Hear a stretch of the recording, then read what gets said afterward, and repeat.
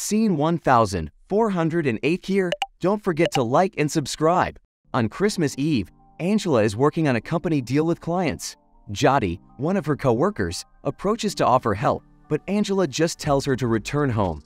Angela's other co-worker, Jim, comes to apologize for harassing Angela while he was drunk the day before.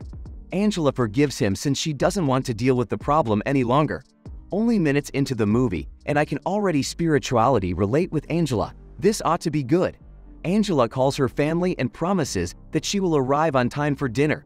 She finishes her work a few hours later and bumps into Carl, the company's security guard, and makes her way down to the lobby together. Angela arrives at the parking lot and attempts to start her car, only to discover that the engine can't start. Angela chooses to return to the lobby and catch a taxi. However, all of the company's doors are already locked. Angela goes to the security office and asks to let her in. Rocky, a Rottweiler dog, barks at Angela as she opens the door. Here's a fun fact. The Rottweiler is one of the most common protection dogs. When a family member is in danger or simply under threat, he or she becomes extremely protective.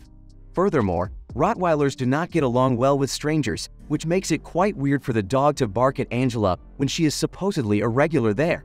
The dog's owner, Thomas, tries to calm him down. Angela informs Thomas that she needs to order a taxi. Knowing that getting a taxi on Christmas Eve will be difficult, Thomas volunteers to charge Angela's car battery. Angela considers for a moment, then agrees to give the idea a shot. However, after some time, Angela starts to realize that this will take a while. She thanks Thomas for trying and asks him once more to give access to the lobby. After the door opens, Angela thanks him once again and bids him goodbye. After calling for a taxi, Angela falls asleep. The driver wakes her up shortly after the taxi arrives. Angela notices that Carl has also locked the main door. The driver gets tired of waiting and leaves Angela, who is still attempting to contact for help at level P1. The parking light goes out, so Angela uses the light from her cell phone to get to her car at P2. Let me remind all of you that this is a 2007 movie, so don't expect anything too advanced when it comes to technology. As one would in a dark space, Angela trips and her things scattered all over. A figure appears behind her. It was Thomas, and he was just standing there, waiting for her. When the time is right, he strikes. He covers Angela's nose and mouth with a handkerchief of chloroform. And so she went to sleep for the second time that night. Angela wakes up in a dress. Angela vomits on the carpet as a result of the chloroform. By the way, props to the producers for noticing that, a very cool detail. Angela notices her legs are tied to the table and asks, what do you want? While Thomas continues to talk about himself. I only want to know where you're from, Thomas says calmly as he opens a bottle of wine. Thomas states that he is helping Angela so that she can enjoy her alone time. Angela then tells Thomas that if she doesn't return home soon, her boyfriend will go looking for her. Thomas recognizes her lie and instructs Angela to lie to her family as well. Thomas rewards her by taking her on a drive when she successfully tells her family that she won't be able to attend the dinner because she feels sick. Angela grabs the knife and stabs Thomas in the back while Thomas unties the cuffs on her ankles. Sadly, Thomas is able to prevent Angela from escaping. He handcuffs her and drives her to his car. As Thomas takes Angela to P4, she is puzzled. Thomas leads Angela to the present he has planned for her. Jim, her other co-worker mentioned earlier, is seated in a wheelchair, his lips, hands, and feet taped up. Thomas gives Angela a baton and instructs her to teach Jim a lesson.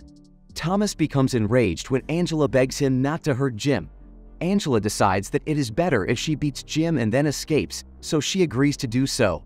Thomas, on the other hand, recognizes that he is going to psychologically destroy Angela, so he changed his mind and did it on his own. Thomas then returns to the car after destroying Jim's face, ramming Jim with his car and crushing him against the wall. Angela takes advantage of the opportunity to escape as Thomas hides Jim's body. She returns to Thomas's office to pick up her phone and access card, somehow knowing that's exactly where he hid them. At the same time that Thomas contacts Angela, Angela dials 911. Angela barely managed to escape before Thomas catches her. Angela is able to get into the elevator after opening the lobby door. Angela learns that the lift requires a key, so she taps the elevator's emergency call button. On the other end of the line, someone answers Angela's call. It's Thomas. To be fair, I have no idea what Angela was expecting there. What? Does she think that the emergency button will get her in contact with the police or something? Angela informs Thomas that she has called the cops and will remain in the elevator until they arrive. Thomas forces Angela to leave the elevator from the top floor. He uses a fire hose from a higher floor to flood the lift. As the elevator fills with water, Carl's body falls from the ceiling. Angela then makes the decision to leave. Angela hides under one of the cars, drenched and cold. Thomas notices Angela's wet footprints and begins to walk in her footsteps. When Thomas hears Angela's trembling voice, he smashes the car's tires and compels Angela to run once more. This time, Thomas does not chase her, instead keeping an eye on her through his office's security camera while listening to Elvis. A very sinister way of instilling fear, if I do say so myself, and yet a very cliche one.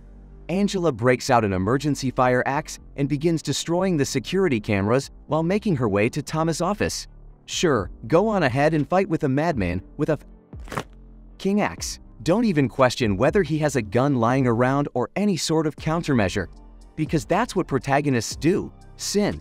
When Angela arrives at Thomas' office, she is shown a video of herself passing unconscious when Thomas dresses her and touches her bare body.